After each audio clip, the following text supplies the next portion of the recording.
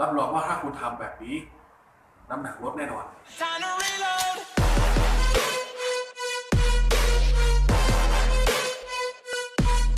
สวัสดีครับพบกับผมอีกครั้ง Nest Re Health Care ครับผมและสำหรับวันนี้ผมจะคุยถึงเรื่องผลไม้ที่เราหาซื้อง่ายตัวหนึ่งคือกล้วยครับ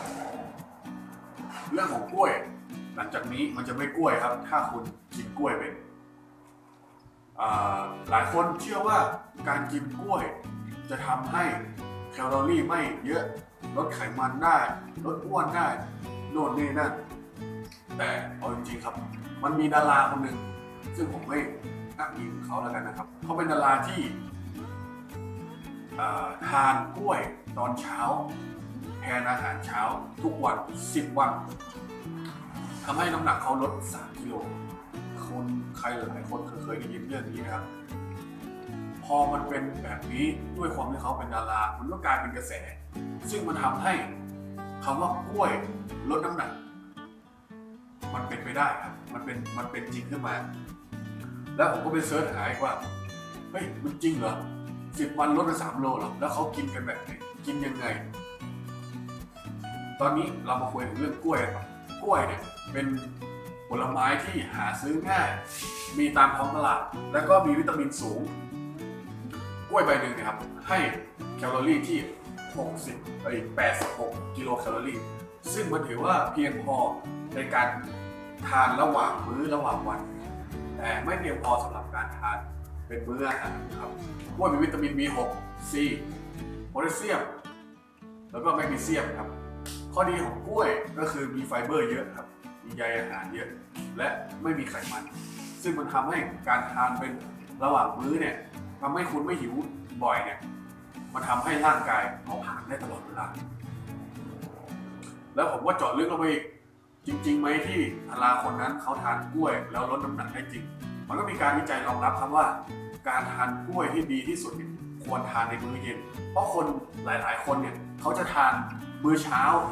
เบากลางวัน ก็ทานปกติ แล้วก็ไปหนักเอามื้อเย็น เป็นพวกบุฟเฟ่ชาบูหมูทะอะไรนู่นนี่นั่นที่มันเยอะๆครับ แล้วการวิจัยนี้เขาก็ทำออกมาว่า การกินกล้วยแทนมื้อเย็นเนี่ยมันจะทำให้คุณลดน้ำหนักหรือเห็นผลไวขึ้น เพราะว่าแทนที่คุณจะกินแบบบุฟเฟ่คุณกลับมากินกล้วย ซึ่งแคลอรี่มันต่างกัน ปริมาณที่พลังงานต้องการในร่างกายก็ต่างกัน มันเท่าพลังงานที่ร่างกายต้องการมันเท่าเดิม แต่การที่คุณกินเนี่ยมันต่างกันระหว่างกล้วยสมมติเอาเต็มที่เลยกล้วยสามลูกสามลูกแปดหกยี่สิบก็สองร้อยกว่าแคลอรี่ อันนี้คือพวกชาบูบุฟเฟ่ต์คือมันเยอะมาก อาจจะเป็นพันแคลอาจจะเป็น700แคลถ้าคุณทานแบบนี้อาทิตย์หนึ่งสามครั้ง น้ำหนักคุณขึ้นเดือนละ 4 กิโลโอเคป่ะ วิธีการทานกล้วยแบบถูกวิธีมา ก็คือคุณสามารถที่ทานบุฟเฟ่ทานอะไรได้ แต่ก่อนที่คุณจะทานเนี่ยให้คุณกินกล้วย2ผลแล้วก็น้ำหนึ่งแก้ว ประมาณ 30 นาทีหลังจากนั้นคุณก็สามารถทานข้าวได้ ซึ่งหลาย ๆ หลาย ๆ ครั้งที่ผมลองทำดูเนี่ยมันไม่สามารถทานข้าวต่อไปได้ถามว่ามันหิวตอนก่อนนอนไหมใช่หิว แต่คุณก็สามารถทานกล้วย หรือทานอะไรที่มันเบาๆท้องได้ ตอนนั้นคุณจะนอนแล้วคุณไม่มีทางที่จะไปกินหมูกระทะหรือชาบูหรือบุฟเฟ่อะไรต่างๆ ได้แน่นอนใช่ไหมครับ นั่นก็คือคล้ายๆกับว่าหลอกตัวเองหรือจิตวิทยาว้าแบบนี้ก็ได้ครับซึ่งถ้าคุณทำติดต่อกันเนี่ยเป็นระยะเวลาสั้นๆเนี่ยอาจจะ